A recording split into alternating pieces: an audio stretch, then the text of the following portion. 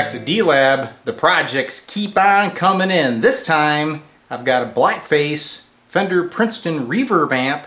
Came here all the way from Hawaii. It needs some major restoration. Let me show you what's going on. And here she is. Let's give the Princeton a look over. See we're missing one of the inserts for this knob, but all the knobs are there and original, so that's a good thing. Eyelet board has got the wave going on. A lot of old crusty caps have to come off. Still have the death cap and a two conductor cord. Isn't that lovely? Okay, so that's coming out. There is the original power transformer, and you'll notice that there's a lead pulled. I'm going to show you why. But first, let's take a look topside. Backside of the amp, from this angle, doesn't look too bad. But as we come across here, you start seeing some issues. Like this rectifier tube. Yeah, she lost some vacuum, so unfortunately that guy's history. Now come around here, and we see we have two filter caps. This is the original, this is the add-on. So if we go underneath, I'll show you how they did that, and then I'll show you what's wrong with that main power transformer.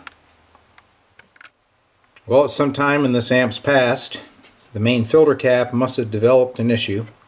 So somebody got the bright idea to carve a nice hole and add another cap topside.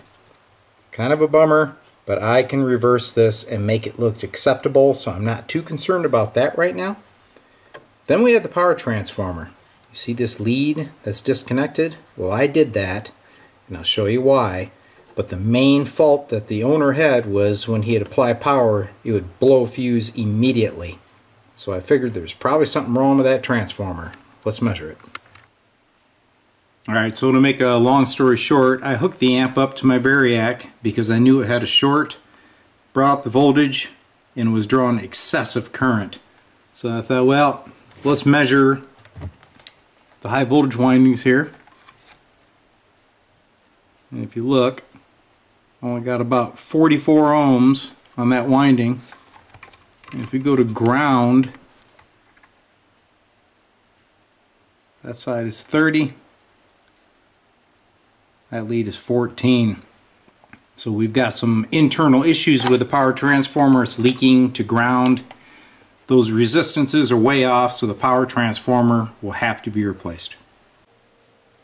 Alright, so the game plan will be we're going to get the power supply repaired first before I start working on the amp section itself.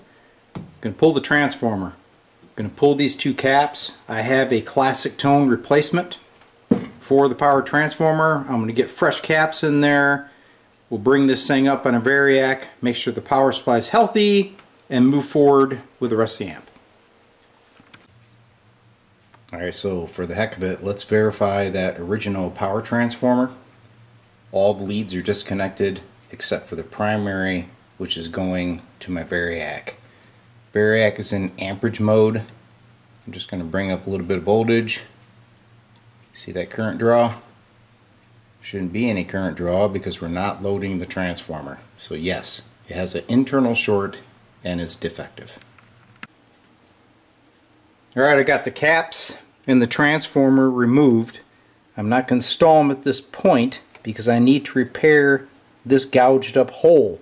So I planned to put bias adjustment in this amp, okay? So what I'm going to do is round that out to where this washer can go into the chassis and I'll solder that into place. And then I have this beautiful Allen Bradley 10K resistor that will end up sitting like this so he can have adjustable bias on the Princeton. Got the whole ready for that washer. So I'm going to clean the bottom side of this thing and get out old Snozeramus to take care of the heavy duty soldering. I've got the amp sitting up on a block and that is keeping the washer level. Clean the area around it. I'm going to come in here with solder and flow it around that guy. Mount our pot should be as good as new. Alright, well here we go. And we're going to have to have that famous Snozeramus introduction music. Here we are. Let's hit it. Good evening. Sit back relax. Light up an old Gould.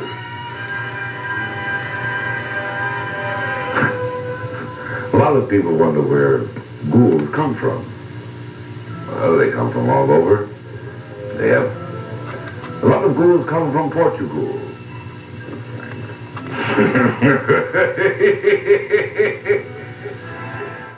There she is, the new variable bias pot installed.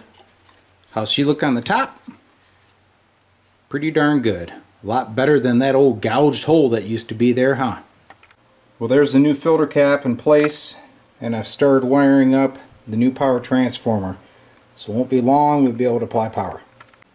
I got the power supply wired up. Now we're going to do an initial test. Make sure the high voltage is working. I only have the 5U4 rectifier tube in at this time. No output tubes are installed. I'm using a 25k resistor as a load for the high voltage so that it discharges between testing and I don't get blasted, right? Alright, so I'm bringing it up on the Variac. I'm at 50 volts input right now. You see our high voltage coming up. I'm going to take it right on up to 100. So there is the new high voltage on the Princeton. So that's good, that's working. Now, let's let that discharge. We're going to move over and take a look at our negative bias because remember I just added a pot. So I had to rescale that negative bias because now we have the pot in line.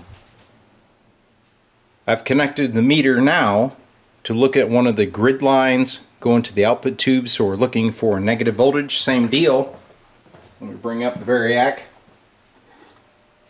And of course this is going to be much faster to come up because it's just going through a diode right? So the 5U4 really has nothing to do with this. So there is my negative bias and now I'll adjust the pot make sure if I can get my screwdriver on it. There we go. Moving the pot around. So negative 48 volts on the high side. Going on to about negative 22. So I'm going to preset this at about negative 36. Next I'm going to get some tubes in this thing and let's see if we can get a signal through it. I've installed a good set of tubes in the Princeton. Got some nice RCAs here for the trial run. Let me get it up on its base, hook up a dummy load, audio generator, and let's see if I can get a signal through it. Got the Princeton fired up, monitoring my negative bias on the output tubes, audio generator connected for my input into a dummy load resistor, going to my scope. So there's my volume, you can't hear it, but take a look at the scope. There it is. Nice clean sine wave. The Princeton is working. I wonder, by chance, if the tremolo works. But I don't see any activity on the tremolo function at all. So we probably got other issues on the board. I'm going to recap it anyway. You can see we got a lot of work to do. So all those caps will come out. We'll retest and see if all the functions come to life. Now I do not have the reverb hooked up at this time. We'll test that at the end. Well I've changed out quite a few caps and I thought this would be a good time to re-verify the tremolo operation. I also found many resistors that were way out of tolerance or actually the incorrect ones installed in the tremolo circuit which is kind of odd. Somebody's doing a little science experiment I guess. So he'll bring up the uh, volume there's our signal. Here's my intensity for the tremolo. There's the speed. So it looks like caps and resistors solved that problem. Next step, we're going to get these ceramic disc caps out of the audio chain. I'm going to verify all resistors. Anything out of tolerance will be replaced. And I'm sure these 100Ks are bad. They usually are. Alright, we're all set, ready for test. obviously changed all those caps and I found many resistors way out of tolerance. Those old 10 percenters. Drift-O-Matic. Alright, I have the reverb tank hooked up. I'm going to get a speaker on this thing. Let's see what it sounds like. Alright guys, here's the deal. Fired up the amp. Got on a speaker. I got a little spring lightning storm going on. It's kind of odd. All the components have been changed in the reverb channel. But there's something odd going on now. I've already checked the tubes. I've subbed out the tubes. Still got this little funny crashing noise. Can you hear it? So the volume's all the way down. Reverb all the way down. There should not be any activity on the output of this amp. Bring up the reverb a little bit. So I've already been tapping around. Hear that? It's very random. So here's what I'm thinking. This amp was obviously exposed to moisture. The power transformer was bad. Most resistors were way out of tolerance. So I believe that maybe the reverb transformer itself maybe has a little corrosion in there. Something going on in that reverb transformer. So I'm going to go ahead and substitute it out with another transformer. I could get all scientific and try to measure it and find it, but if this was a bad connection issue, getting in here tapping would excite the problem and it doesn't. So let's just sub out the reverb transformer, see if that solves it. And if it doesn't, I guess D-Lab's got a challenge, doesn't he? Alright, so I quickly substituted in an external reverb transformer. Amp is on.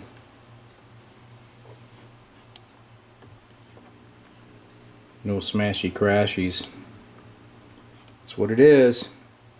Internal arcing on the reverb transformer. So put this one in your memory banks, guys. You have some random reverb crashes. It might not be the tank. It might be the reverb transformer. Alright, gonna install it. Alright, got the new transformer installed. Here is the old one. And right there, you can see evidence of maybe some arcing going on right there on the primary lead going in. Who knows? But either way, there it is. Reverb up. No noise. Now that I have that original reverb driver transformer pulled, give an inspection. If you look right there, you can see an arc mark, okay? And looking down in here, I can see some blackness, okay? So I believe that one of the windings is arced ground. There's a carbon path. Probably was exposed to moisture in its past. There's another sign of an arc. So anyway, they're only about 20 bucks a pop, but it is a shame that the original fried. But that's vintage electronics, right? 50 plus years old. Well, let's give that reverb another test. As you know, I don't play but whatever, okay? Reverb's all the way down. Let's bring it up.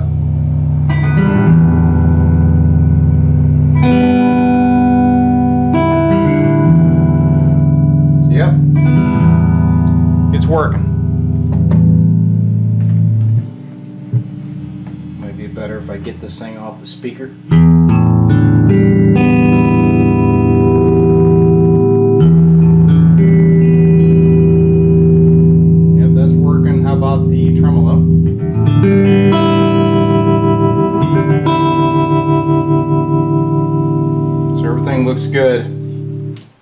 I'll get a real player over here and we'll verify it, but I'm pretty sure the Princeton's good to go.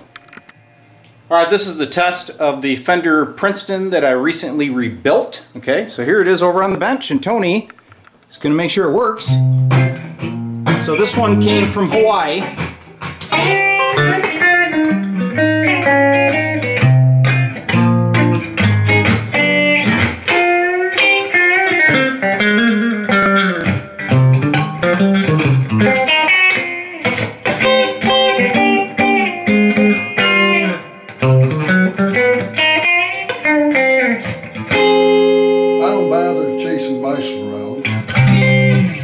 I want some macadamia nuts. Oh, yeah.